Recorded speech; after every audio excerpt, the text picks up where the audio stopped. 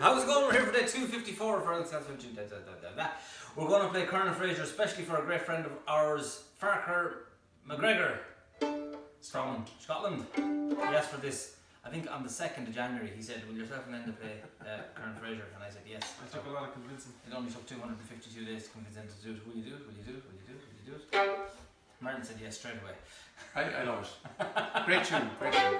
One, not too fast now, lads. One, two, three.